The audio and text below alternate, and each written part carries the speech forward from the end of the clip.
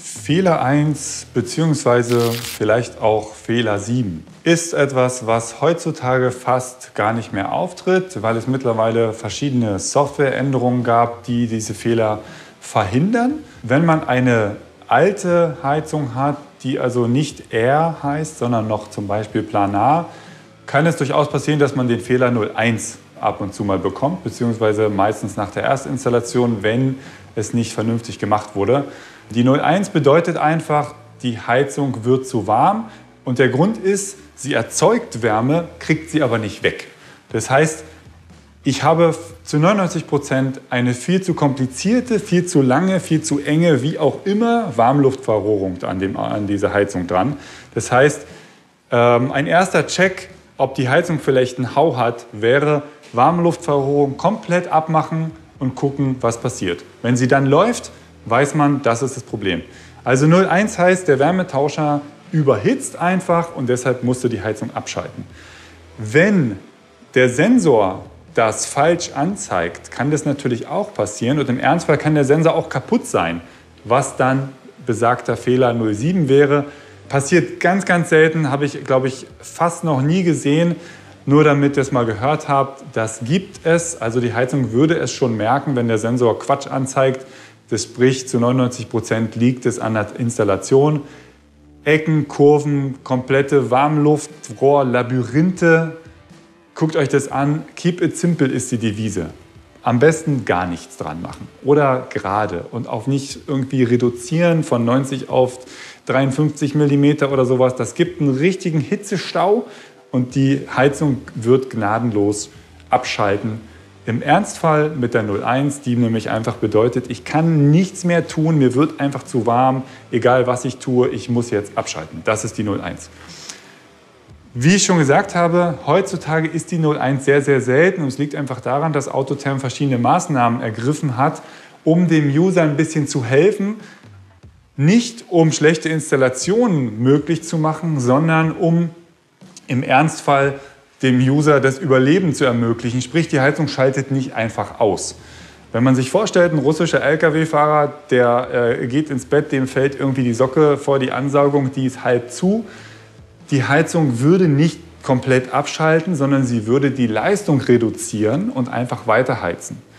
Das ist natürlich auf Dauer nicht gut, weil die Brennkammer dann einfach nicht mehr richtig warm wird, aber man überlebt zumindest mal diese Nacht. Das ist der Hintergrund.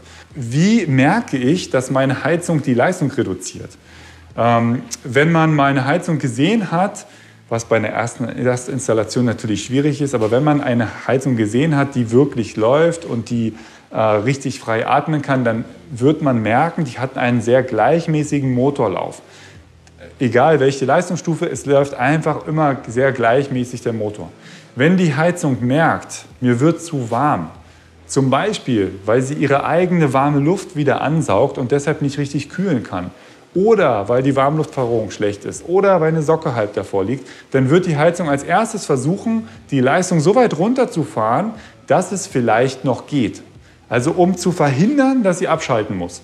Und dieses Runterfahren kann man merken. Einerseits natürlich in dem Augenblick, wo er gerade runterfährt, aber wenn man aufwacht, und die Heizung macht so ein wimmerndes Geräusch, also die fährt ein bisschen runter, wieder ein bisschen hoch, ein bisschen runter, wieder ein bisschen hoch. Dann weiß man, die Heizung ist jetzt genau in diesem Modus, wo sie irgendwie versucht anzubleiben. Und das ist der Modus, den man nicht dauerhaft haben sollte. Das ist wirklich nur die Notlösung, die die Heizung macht, damit du diese Nacht überlebst. Das heißt, wirklich auf die Suche gehen, bis die Heizung sauber durchlaufen kann. Wie ich schon gesagt habe, ist es nicht so einfach zu erkennen, ob die Heizung die Leistung schon reduziert oder nicht oder warum sie nun gerade abschaltet. Ein Indikator ist, wie gesagt, dieser, dieser Lüfterlauf. Es gibt aber noch einen anderen, den kann man in den meisten Bedienelementen schnell kontrollieren, nämlich die Ansaugluft-Temperatur. Zum Glück hat die Heizung ja auch einen Sensor auf der Hauptplatine. Das heißt, die Luft, die vom Lüfter durch die Heizung geschoben wird, die strömt über die Platine und das kann gemessen werden. Das sieht man zum Beispiel im PU27 oder auch in irgendwelchen anderen Bedienelementen. Im Autotherm Comfort Control zum Beispiel sieht man T-Heater oder halt Heizungstemperatur. Und da kann man sich als Grundregel merken, wenn man an dieser Stelle über 30 Grad sieht, weiß man, dass die Heizung auf jeden Fall versuchen wird, ihre Leistung zu reduzieren, denn das ist zu viel. Das heißt, da muss man immer eine Zahl mit einer 2 vorne sehen. Ansonsten hat man was falsch gemacht in der Installation. Oder der Sensor ist kaputt. Kann natürlich auch sein. Eher selten. Wenn man da eine Zahl über 35 sieht, wird die Heizung gnadenlos Kühlphasen einbauen, sprich abschalten ohne Fehler und wieder anschalten. Das heißt, seht zu, dass diese Temperatur auf einem vernünftigen Wert ist. Wenn die Warmluftflagerung zum Beispiel so ist, dass die Heizung ihre eigene Warmluft wieder ansaugen kann, dann wird dieser Wert gnadenlos hochgehen und die Heizung wird die Leistung reduzieren. Und dann kommt man zum Beispiel dazu, dass man uns eine E-Mail schreibt und sagt, die Heizung macht ja gar nicht warm. Kann sie nicht, weil sie ständig ihre eigene Luft wieder ansaugt und deshalb die Leistung reduziert. Schaut danach, den Wert könnt ihr im Bedienelement sehen.